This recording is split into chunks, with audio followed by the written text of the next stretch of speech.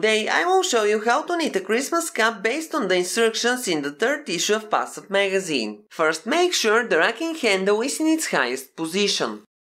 Raise 128 needles on the front bed of the machine, 64 to the left and 64 to the right side of the center. Place the edge springs on the last working needles and arrange the needles in 1 to 1 division.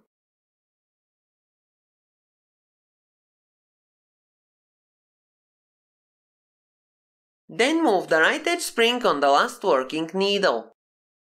Raise the opposite needles on the back bed and place the edge springs on the last working ones.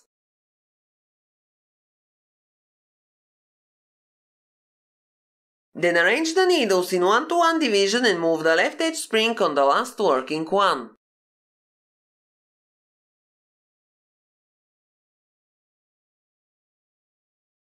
Lower the front bed and take the cast-on rack. Use the decker tool and attach the cast-on rack to the needles on the front bed. You can see it up close. Now I will attach four equally spaced weights to the cast-on rack. If you have a cast-on comb, knit one row with a ravel cord and attach the comb to it. Raise the front bed, set both locks to N and the stitch size to 5.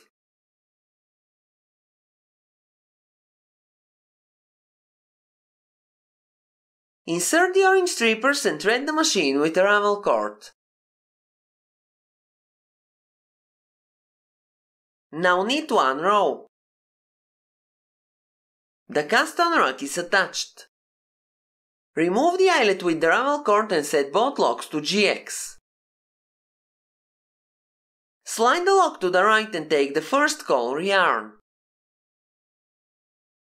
I will use two strands to knit a fluffy brim. Set both locks to N and the stitch size to 3.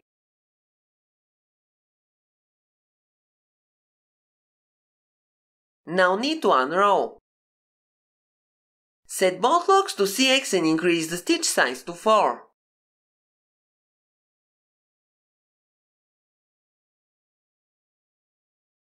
Now knit two rows. Set both locks to N and increase the stitch size to 5.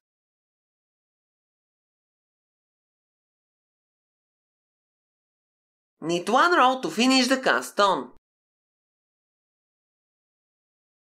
Set the front lock to CX and the stitch size to 3. Set the back lock to EX and the stitch size to 4. Remove the orange strippers and insert the black ones. Move the edge springs and transfer all stitches to the needles on the back bed.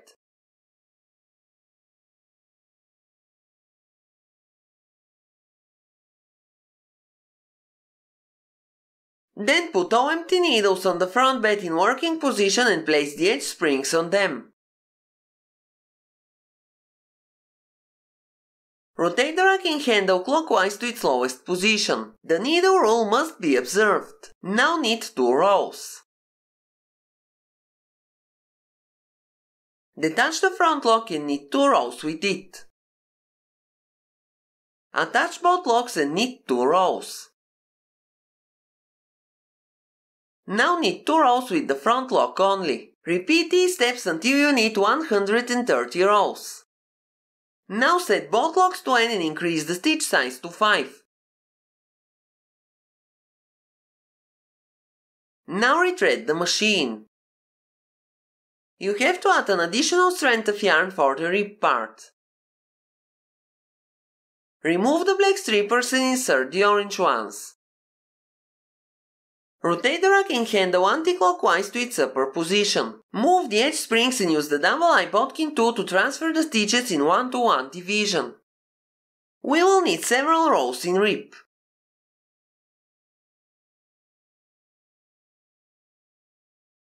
Make sure to put all empty needles on both beds out of working position.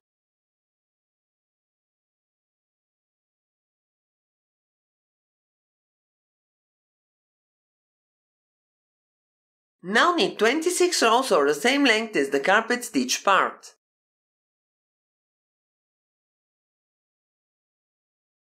Set both locks to CX. Raise all 128 needles on each bed and move the edge springs on the last working ones.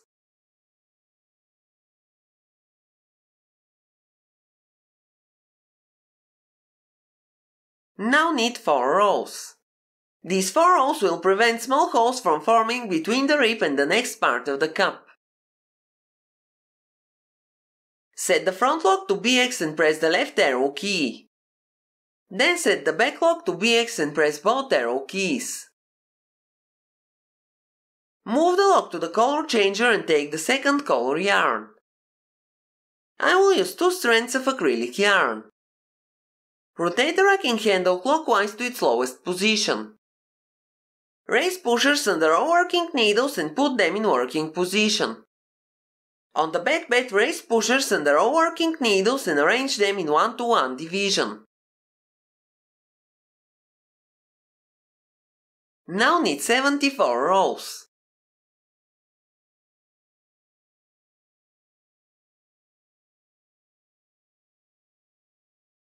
Slightly raise every seventh needle on the front bed. You have to start by raising the leftmost needle, I forgot to raise it and transfer the stitch later. After you raise the needles, use the decker tool and transfer the stitches one needle to the right.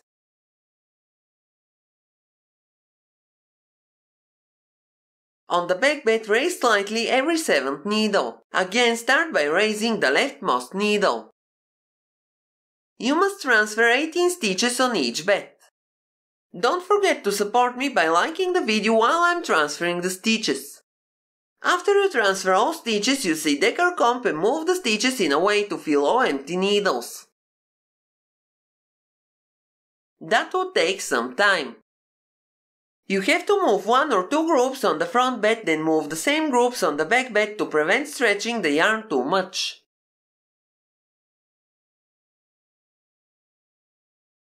If you don't have a decker comb, you can use some of the small decker tools.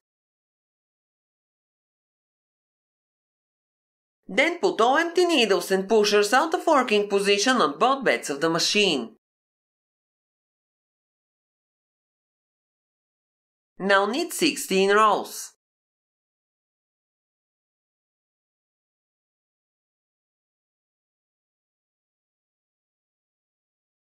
Start from the leftmost needle and slightly raise every sixth needle. You have to raise a total of 19 needles on the front bed. Then do the same on the back bed. Transfer the stitches one needle to the right and use the decker comb to move the stitches to fill the empty needles. Now put the empty needles and pushers out of working position on both beds of the machine.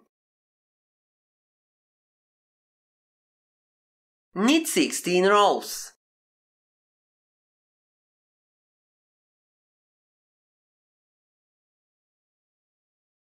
Set both locks to N.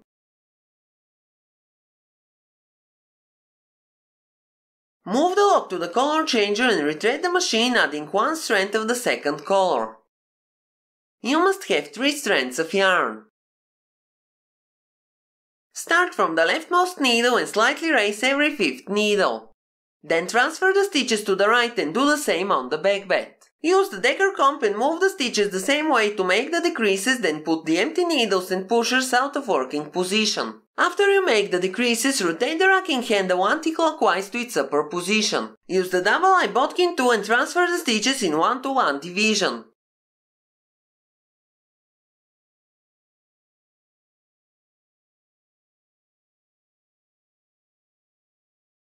Knit 16 rows.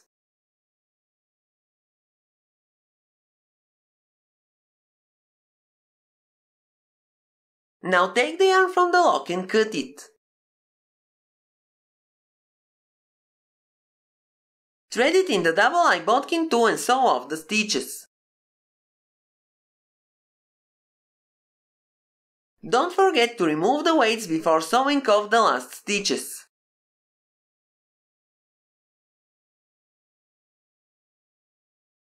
Now it should look like this. First we need to remove the cast on rack. Then I will fold the fluffy part of the brim over the rib and I will sew them together.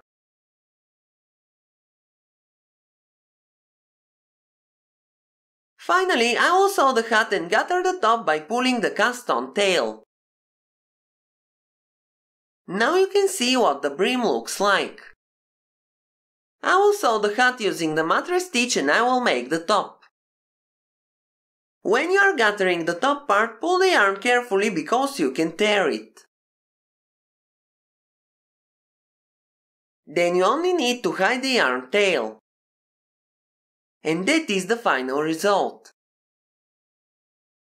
This is the brim, and this is the top part. That's all for today, have a nice day and see you in my next video.